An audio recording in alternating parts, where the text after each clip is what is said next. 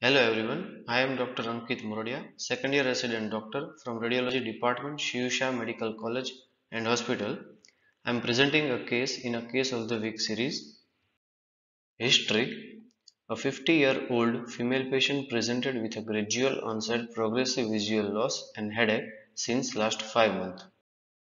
X-ray skull lateral view shows a widened sella turcica Non-contrast CT images reveals a large soft tissue density mass lesion involving sellar and suprasellar region. It is causing deepening and widening of floor of sella turcica However, no evident extension is seen in sphenoid sinus.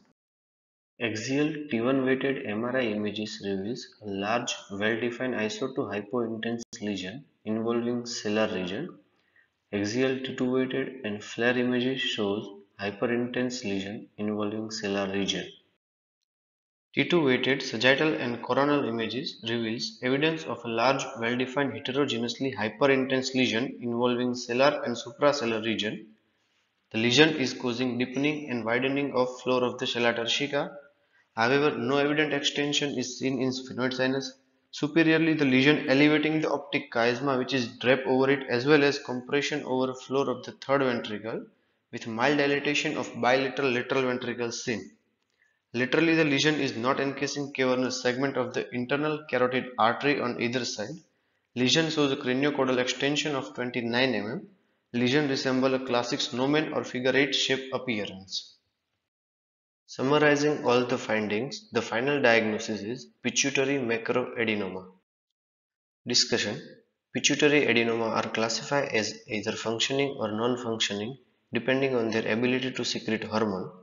Etiology The exact cause is unknown, however there is a predisposition that pituitary tumor are inherited through an autosomal dominant trait.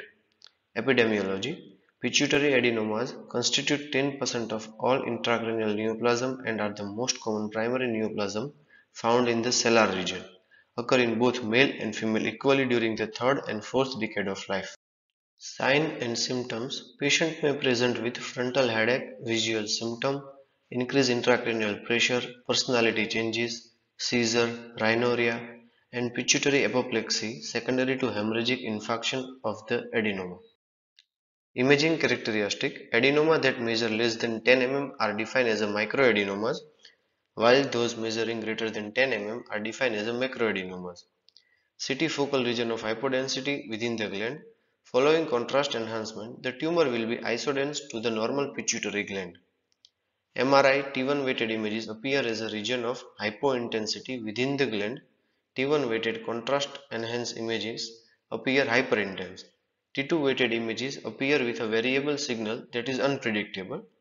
Now treatment methods may include the transsphenoidal pituitary resection, cryohypophysectomy, pituitary irradiation or bromocriptine. Prognosis The patient's prognosis is ranked from fair to good depending on the extent the tumor spread outside the sella turcica I would like to thank Dr. Harshad Shah sir, Dr. Nirmala Chudasama Dr. Rashesh sir, Dr. Naveen Mehta sir, my seniors and my colleague. Thank you.